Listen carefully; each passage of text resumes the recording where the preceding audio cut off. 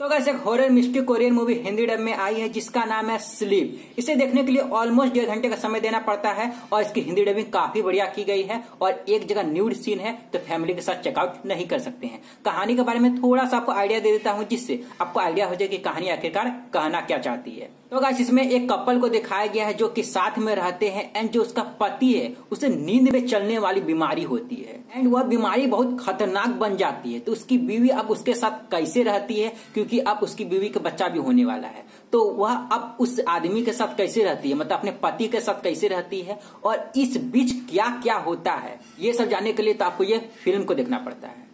तो guys film मस्त है। जी हाँ फ़िल्म मस्त है। यदि आपको suspense thriller horror mystery movie देखना पसंद है तो ये आपके टाइप का फ़िल्म है। देखने में बहुत ही मज़ा आएगा और जिस तरह से मेकर्स ने इस फ़िल्म को प्रेजेंट किया है वह बहुत ही बेहतरीन है। देखने में बहुत ही मज़ा आता है।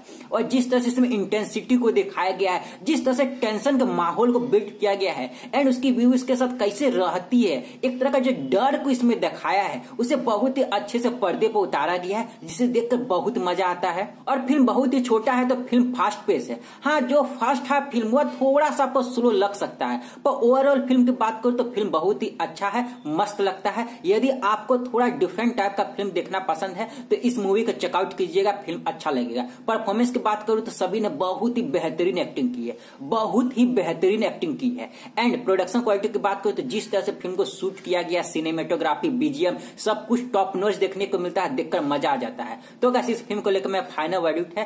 यदि आपको कुछ डिफरेंट देखना पसंद है एंड यदि आपको थोड़ा सा हॉरर मिस्ट्री सस्पेंस वाला फ़िल्म देखना पसंद है तो इस मूवी को देख सकते हैं। मज़ा आएगा एंजॉय करेंगे फ़िल्म अच्छा है। और एक बार फिर से बोलूँगा कि एक जगह न्यूड सीन है तो फैमिली के साथ नहीं देख सकते हैं। तो मिलते हैं एक नए वीडियो में तो तक लिए जय हिंद, वंदे मातरम।